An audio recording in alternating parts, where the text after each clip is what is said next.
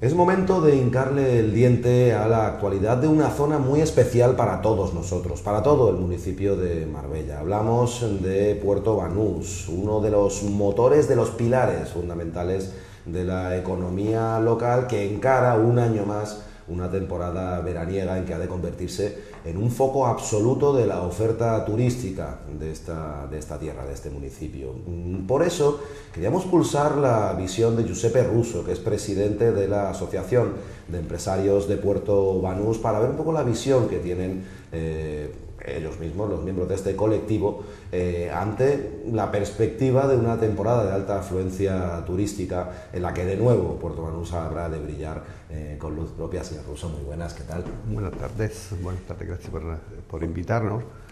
Y ¿cómo, cómo, cuáles son las sensaciones que deja este, este el pulso, de la temporada? El pulso que nosotros ahora mismo manejamos, bueno, es positivo, eh, porque la última referencia importante eh, la tuvimos con el Marbella Luxury Weekend, que se, se, sentía un poquito en la calle algo distinto eh, en términos de, de, participación, en términos de organización, en términos de, de, limpieza, en términos de seguridad. Y después particularmente todos los empresarios que han participado a este evento, pues eh, por las informaciones que nosotros manejamos, pues eh, eh, la han encontrado positivo y tienen esperanza que esto puede ser una buena temporada.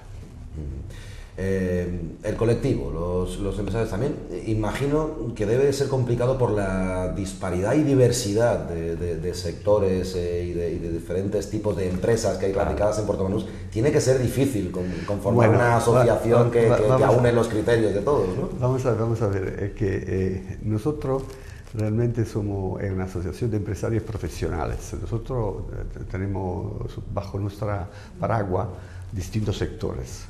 Y como todo el mundo sabe, en Puerto Banús hay al menos 3-4 sectores definidos como a nivel empresarial. Me refiero al sector eh, de la, de la moda, de las grandes marcas, claro. de la marca de lujo, me refiero al sector de la restauración, me refiero al sector de la náutica, me refiero al sector de las uh, diversión de noche, bar, de copas, discoteca, y en fin, eso uh, tienen, hay también empresas de transporte que se dedican a hacer alquileres de barco para, para, para, crucero, mini crucero, cosas así. Por lo tanto, nosotros manejamos un poco una información generalizada, pero por sectores. Claro. Sí, porque habrá veces que los intereses de unos alguna vez, alguna, con los de otros. Algunas veces son, son distintos intereses, pero claro, en la viña del Señor tenemos que caber todos.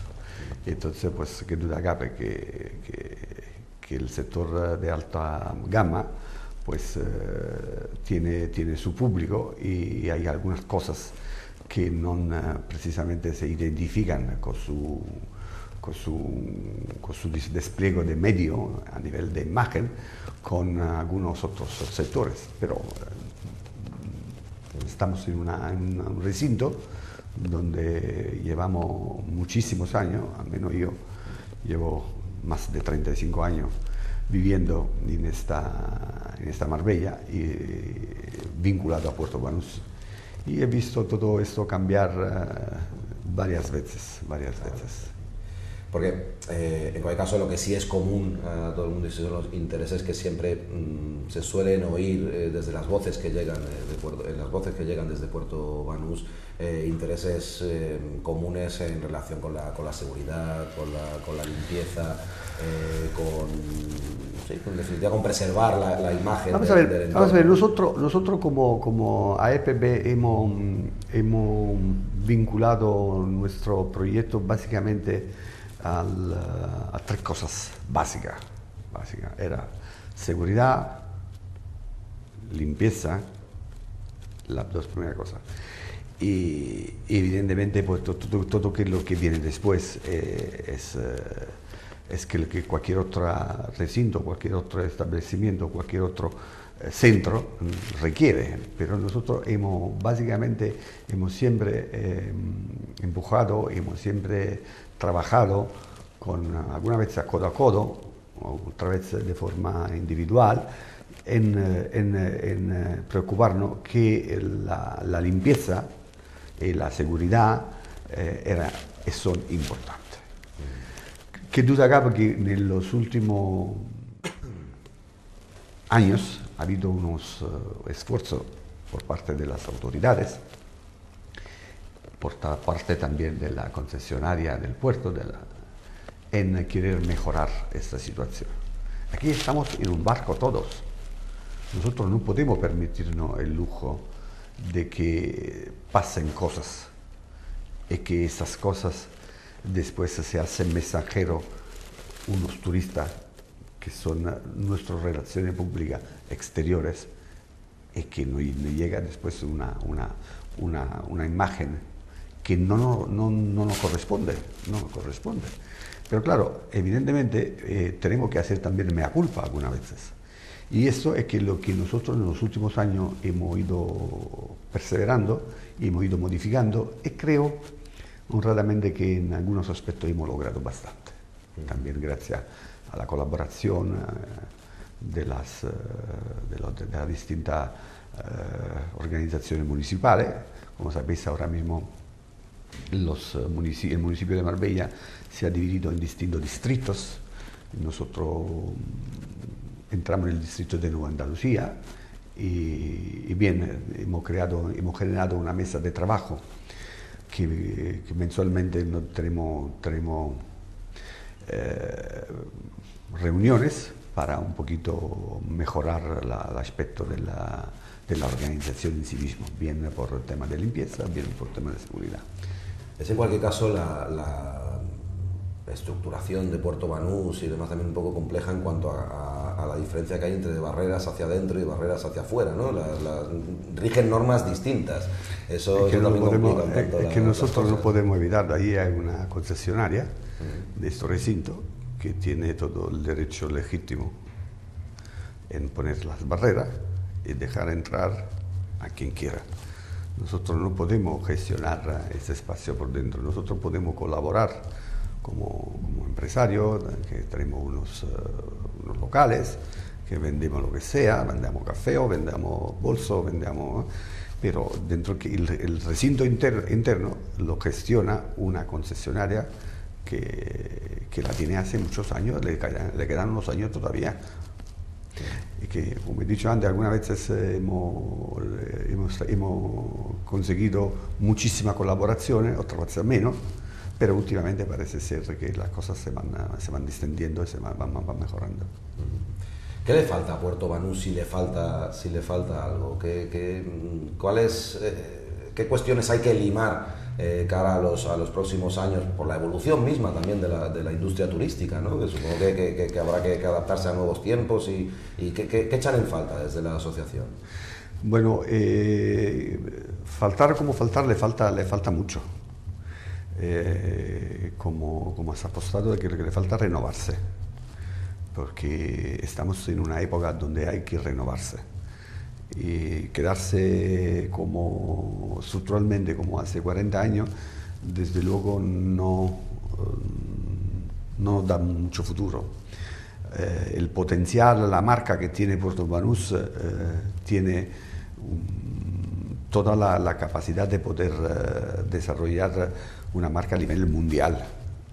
que yo tengo, si hago un poquito de ejercicio de memoria, pues puedo, puedo dar alguna reseña que nosotros hemos tenido unos años eh, brillantísimos, donde en este recinto se, se, se convertía en un espectáculo a nivel mundial, donde las, eh, la grande fortuna se paseaban, se, paseaban uh, libremente, se sentaban a tomar un café y de pronto te encontraba que estaba sentado en un bar y al lado tenía a Cristina Onassis o te iba un poquito más adelante, te encontraba con uh, el, príncipe Salman o, o, otros, otras, otros personajes de, de importancia eh, de referencia mundial en el, en el cine, en la, televisión, en el arte. Eh, Hemos tenido mucho y yo creo que, que lo que, que, habría que hacer es apuesta a retomar un poquito estas iniciativas para hacer los grandes eventos, los eventos donde, donde, donde se atrae la, eh, mm, el personaje de este, de este calado. Mm, salir un poquito de la mediocridad, que, es lo que yo últimamente eh, divulgo, es decir, la mediocridad no, no se casa con, la, con, con el lujo. Si queremos dar la imagen de un lujo, pues tenemos que salir de la mediocridad, no podemos salir de dos cosas. Hay veces que mm, no sé, habrá, habrá medidas eh, concretas que, tomar que puedan, que puedan contribuir a eso, cosas que no se estén haciendo ahora y que, o que se hubieran hecho en el pasado y que han dejado, y que han dejado de hacerse. Sí, que, que duda cabe que la, la, la, crisis económica afecta también a estas eh, iniciativas. Y claro, el, eh, yo he intentado este verano a través de la asociación, hemos intentado de colaborar con unas iniciativas de una empresa que estaba dispuesto a traer uh, unos eventos donde se han hecho en otros sitios del mundo y podrían uh, haber sido mm, positivos a nivel mediático para la firma, para la marca Porto Banús pero debido a razones técnicas, estructurales, como te había comentado antes, pues no se ha podido hacer, porque, bueno, porque para atraer a 7, 8 mil o 10 mil personas necesitamos espacios. Espacio. Y si ese espacio técnicamente no lo podemos usar por, la, por distinta naturaleza, por distintas razones, pues no podemos hacer esos eventos. Entonces, ahora creo que hay que concentrarse en hacer eventos de pequeño, eh, de, pequeño, de pequeña asistencia y de, de, mucha, de, mucha, de, de, mucha calado y de mucha envergadura a nivel mediático. Eso que es lo que, eso que, es lo que requiere, requiere fuertes inversiones ¿eh? y grandes marcas marca de primera calidad que se, se, atrevan a hacerlo. Igual no un luxury weekend al año, sino, sino un luxury weekend sí y varios eventos más también. Bueno, yo, yo eh, eh, en, esa, en, esa, en esa dirección espero que de aquí a final de año puede ser que damos, daremos una buena noticia pero no quiero adelantar eh, hechos. Nosotros tenemos oficialmente eh, la posibilidad de crear una, una gran fiesta y, y, ligarla un poquito a la marca Puerto Banús para que se repita todos los años y tener eh, los 200 VIP más importantes del mundo concentrados en un sitio. Pero repito, es un proyecto que estamos intentando de, de coordinar para, para, que a ver si podemos dar una buena noticia muy pronto. Están trabajando en ello. Eh, eh, cambiando de página, el, eh, llevamos ya demasiados meses, por desgracia, eh, oyendo hablar mucho del puerto de Bajadilla. Digo por desgracia porque sobre el puerto de Bajadilla todo lo que se está oyendo tiene que ver con la incertidumbre, con con de quién es la culpa de, de quién tal. Eh, y a mí me consta que en Banús tienen ustedes una visión muy diferente del tema bajo un punto de vista que, que, no ha sido suficientemente expuesto por casi nadie. ¿no? Y es eh, el hecho de que mm, estamos tan pendientes de lo que puede ser un puerto que aún no existe cuando, cuando a lo mejor, y creo que es así la, la línea que llevan ustedes, eh, igual deberíamos prestar mucha atención al, al, que, sí al que sí existe. Sí, yo, yo, me acuerdo que no este año, el año pasado, en el Marbella Luxury Weekend, tuve oportunidad de hablar con, con un concejal y la verdad que me, se lo dije francamente, digo, digo, nos equivocamos el año pasado, pues todo esto que ha pasado no, no, no se sabía, ¿no? Eh, y yo en aquel entonces le estuve, le estuve comentando que nos equivocamos, tenemos una marca aquí consolidada, llevamos el Puerto Concesista hace 40 y pico años.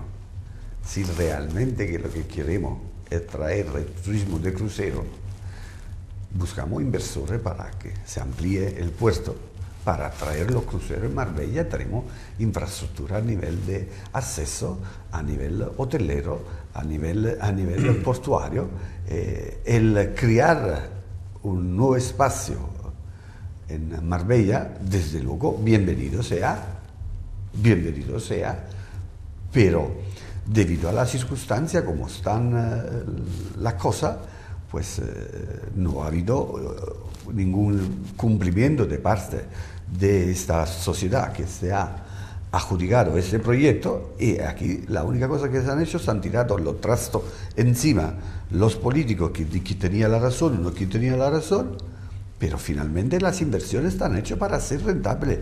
Si ese señor ha, visto que no es rentable esa inversión, tiene todo derecho a, retirarse, pero que nosotros que lo que no tenemos que dejar de seguir, de buscar ¿eh? alternativa a inversores que tienen ya el pastel medio hecho, que lo tienen en el puerto. ¿Por qué ir a buscar otra, otras alternativas? Incluso, si me apura, muchísimo más barato.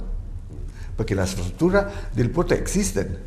Y ha habido muchísimas veces proyectos de ampliaciones que, por una razón o por otra, no se han podido eh, realizar, pero que técnicamente se puede. Es que echando la mirada atrás, eh, yo, ya llevo dos décadas prácticamente en, tareas informativas aquí en este municipio y he oído cinco o seis veces que se puede y cinco o seis veces que no se puede en Puerto Banús y ya no sé con qué quedarme porque cada una de esas cinco o seis veces, tanto para uno como otro, las fuentes eran, eran, técnicos, pero... Mire, eh, si se puede hacer eh, en, en la bajadilla, ¿por qué no se puede hacer en el puerto? Yo no lo sé. No yo sobre eso discrepo. Eh, creo que sería una cuestión de gestionarlo a nivel político, y a nivel institucional y a nivel privado. Pero si se sientan las tres partes encima de una mesa en negocian, no será por un problema técnico, porque eso sí, le garantizo que no, que por problema técnico es factible, será por otro problema, pero ahí es donde estamos. Si, hay la, si la posibilidad la hay, será una cuestión de negociar ni más ni menos. La bajadilla hubiera sido un, proyecto precioso, precioso, pero los proyectos tienen que tener una rentabilidad. Si eso señor no le ve ninguna rentabilidad, pues no, la ve. No vamos ahora a darle la culpa a la Junta de Andalucía, al Ayuntamiento, o a aquí si la ha hecho bien o si la ha hecho mal. Pues no, no, no. A nosotros, como ciudadanos de a pie, que lo que nos interesa sería que se hicieran cosas pero no podemos empecinarnos que si una cosa no se hace, es la única cosa que se hable que esto, es que somos malos, no, es que nos somos equivocados de socio, buscamos otro. Así de claro. Entonces, si entiendo mal, es bajadilla con quien efectivamente la vaya a hacer y, que lo haga bien y más atención para Puerto Banús. Que... Yo, en este momento, como está ahora mismo la economía, creo que no creo que vaya eh, se, se, podría hacer una previsión de que se va a hacer eh, que se va, a cambiar la economía en, dos años yo creo que si, si, hubiera una posibilidad de encontrar un inversor en, eh, que está interesado en el turismo de crucero, porque no hay que olvidarse que aquí la, la batalla, la, la batalla, la, la bandera de, de la bajadilla era, se va a dar un acceso a una serie de turismo de, crucero para fomentar o incrementar que lo que era un poquito el casco antiguo, que lo que era la, economía de Marbella. Pero vamos a ver, Marbella y Puerto Banús no, no somos lo mismo. Si llega a Puerto Banús, no se puede crear un sistema de, de, transporte para que la gente vaya a Marbella o se puede ir a San Pedro. Al contrario, si me, si me si me apura, eh, geográficamente Puerto Banús está mejor posicionado para distribuir esta... Para, los dos lados. porque San Pedro es parte de Marbella también. ¿Por qué no? ¿Por qué no? Pues lo dejamos ahí en interrogante y así que los televidentes se, hagan, se hagan sus preguntas también ellos y, lleguen a las conclusiones que, estimen, que estimen oportunas. Señor Russo, muchísimas gracias por acompañarnos. Gracias por haberme invitado. Ha sido un, placer, indudablemente, y que todas las cuestiones que se han quedado aquí sobre, sobre la mesa con el tiempo, y esperemos que no mucho, eh, vayan encontrando solución. Gracias. Gracias. Cuídense mucho.